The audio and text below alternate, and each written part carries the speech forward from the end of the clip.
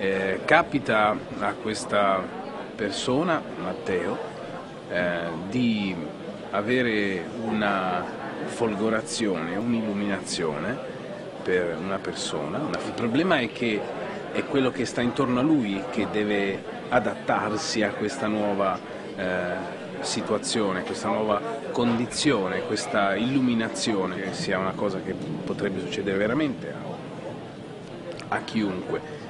Mm, e mi, mi piace pensare che questo sia possibile. Questo film eh, parla di, di, potenza emotiva e parla di, di, di, sessualità articolate, complesse. Non mi piace il termine diverso perché tutto è diverso, perché ogni essere umano è diverso.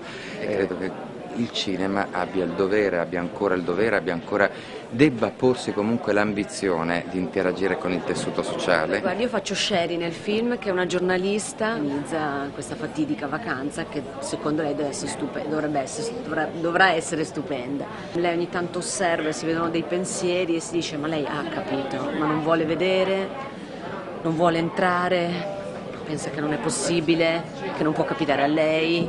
Ehm, che il suo amico Matteo non può essere così. Sul discorso dell'omosessualità, sai, essendoci stata anche dentro la storia, in realtà io non lo penso omosessuale. Quindi ogni volta che senso, sento la parola dico, ah sì è vero, c'è un amore fra due uomini. Io mi aspettavo che andasse bene, ero abbastanza certa, perché il film mi è piaciuto, quindi sono venuta contenta.